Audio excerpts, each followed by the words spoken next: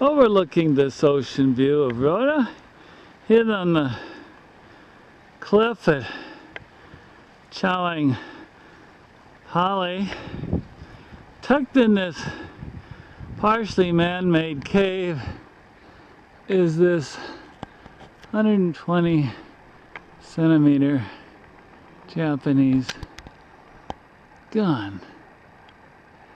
Rather interesting with all the ferns.